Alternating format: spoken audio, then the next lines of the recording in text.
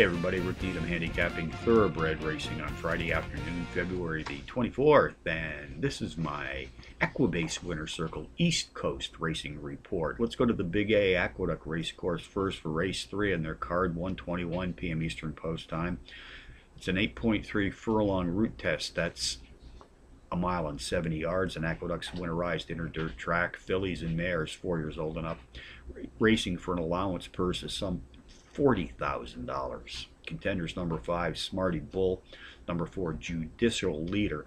Number one, Silver Chest. And number two, Mordecai Jones.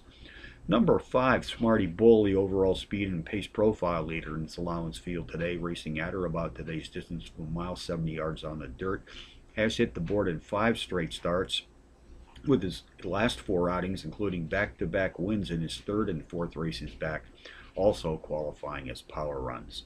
Number four, Judicial Leader, the morning line favorite, has also hit the board in five straight, including four straight power run wins in her last four outings.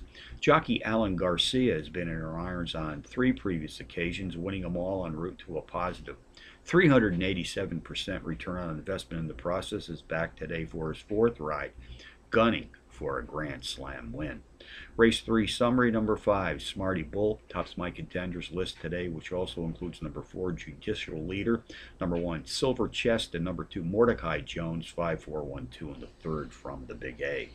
Gulfstream Park, race 6, 3.01 p.m. Eastern Post time, mile test on the turf track.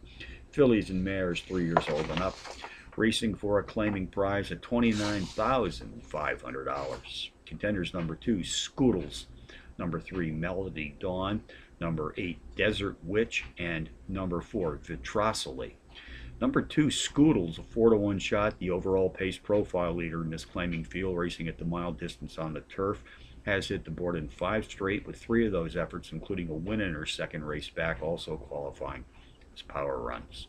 Jockey Paco Lopez has been in her irons on two previous occasions, posting a win in a place which produced a positive 290% return on investment in the process. Lopez is back today for his third ride. Number three, Melody Dawn takes a class drop of 11 units, the speed leader in this field. She's produced power run performances in five straight, hitting the board in a pair.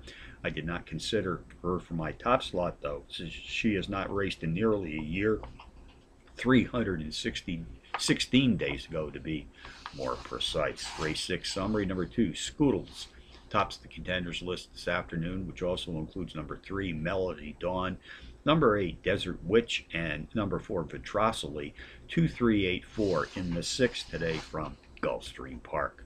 Bonus long shots. Let's go to Charlestown in West Virginia, race three, entry number three, Latika.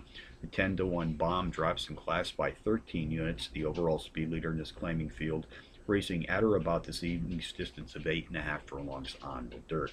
Turf Paradise in Arizona, race three at a four to one shot. Number six, Loxley Hall, the overall speed leader in this claiming field, sprinting at tonight's distance of six furlongs on the dirt. So from the Big A, Aqueduct on a Friday. Rick Needham for the Equibase Winner's Circle, reminding you as always to please bet with your head, not over.